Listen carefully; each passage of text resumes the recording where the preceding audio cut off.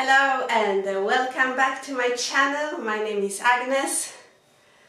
We are in our kitchen as you can see, which can only mean one thing and that is that a cooking video is coming with a real Polish traditional recipe as you already probably saw by the title or the thumbnail. So today we are going to cook something I think very typical for Europe very popular in Poland as well as Sweden.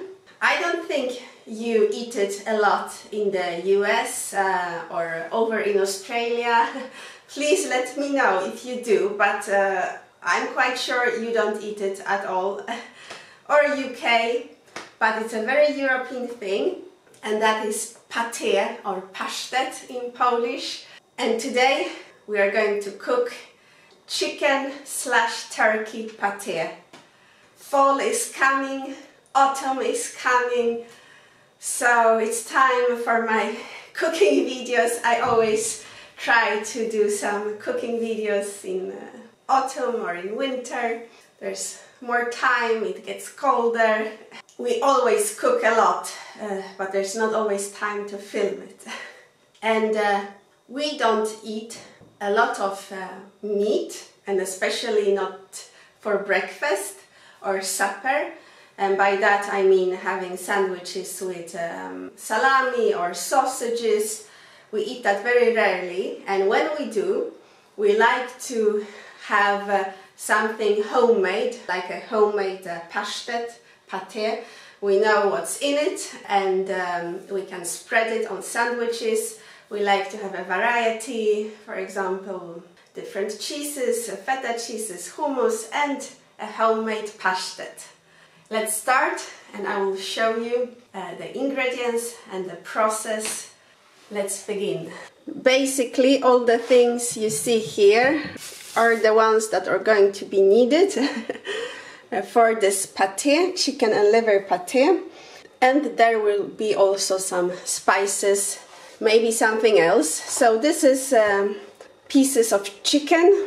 They are around uh, four pieces of chicken, like a piece uh, chicken leg or chicken thigh. Here we have uh, around uh, 150 200 grams of uh, turkey liver. Uh, you can add, of course, any liver you want, but we are doing turkey liver. Never eat chicken liver, but turkey liver is um, quite healthy. So you can use around 100 to 200 grams. Uh, two carrots, I will use probably half a parsley, one onion, bread roll. That's it. So the first step is to boil the chicken as if you were boiling a very simple chicken broth, chicken soup.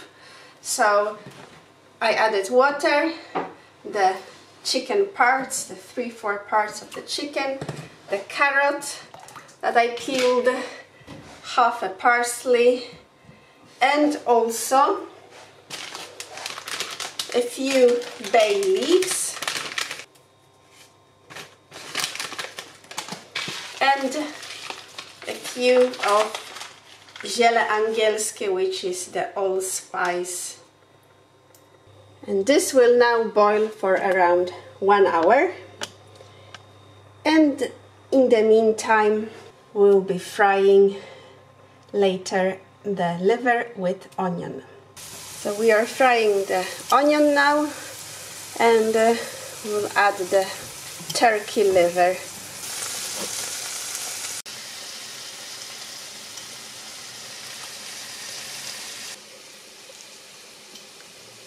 it's done. There's no need to cook it extremely like thoroughly because it's all going to get mixed together in a blender and then baked in the oven. Here it is.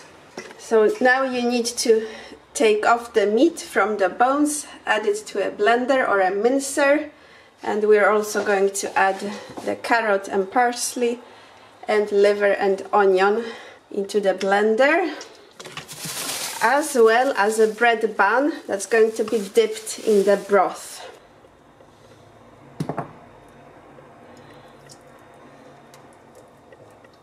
It's also important to add all the skin for the pate to be more moist.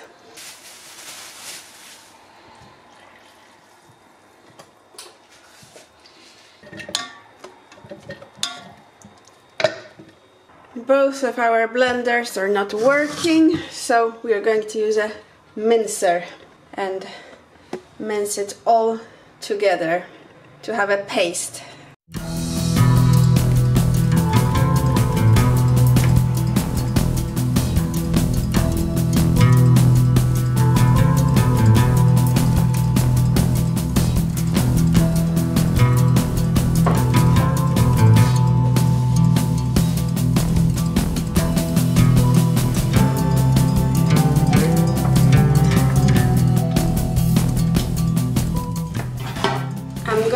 add one egg, one raw egg into this mixture. Salt, pepper and sweet and hot pepper. That's for the spices and that's all. And mix it all together here, pass it over into the form and bake it.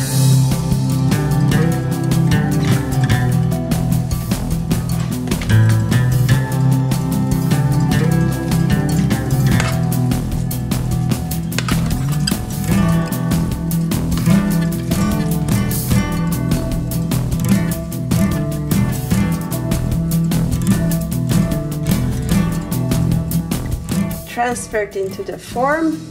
60 minutes 180 degrees Celsius. So bake it for one hour